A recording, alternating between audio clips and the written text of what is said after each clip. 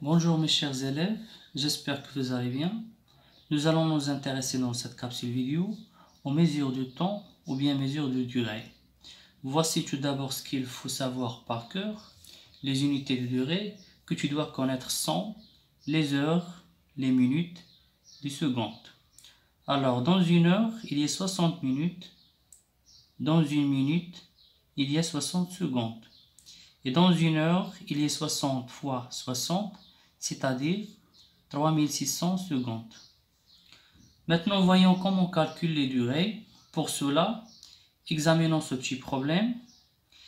Il est 8 heures, 4 minutes et 14 secondes. Et c'est le départ du marathon. Le gagnant met 2 heures, 10 minutes et 32 secondes. La question demandée, à quelle heure le vainqueur est-il arrivé?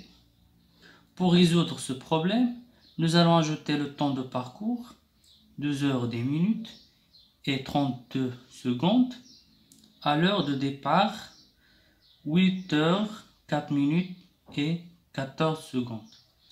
Plaçons maintenant, ou bien premièrement, 2 heures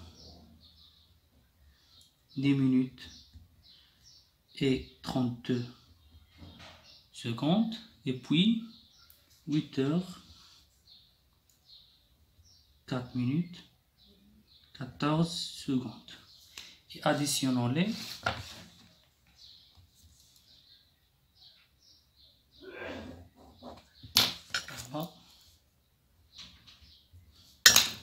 Alors, 2 plus 4, 6, 3 et 1, 4, 0, 4, 0 plus 4, c'est 4, 0 plus 0, 0 plus 1, c'est 1, très bien, 2 plus 8, c'est 10.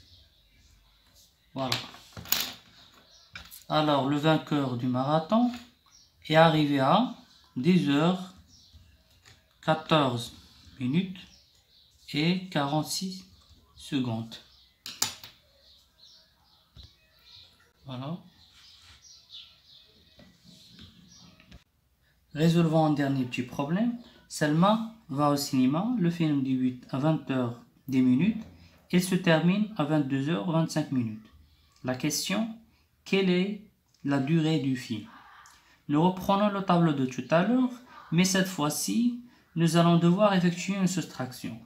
Nous allons retrancher 20 heures des minutes à 22 heures 25 minutes. Alors, je vais commencer par 22 heures 25 minutes 0 secondes moins 20 heures 10 minutes 0 secondes. Alors ici, 0. 5 moins 0, 5. 2 moins 1, 1. 2 moins 0, c'est 2. 2 moins 2, c'est 0. Très bien. Alors, le film a duré 2 heures 15 minutes. Très bien. Voilà la vidéo touche à sa fin. Merci d'être resté jusqu'au bout. À bientôt.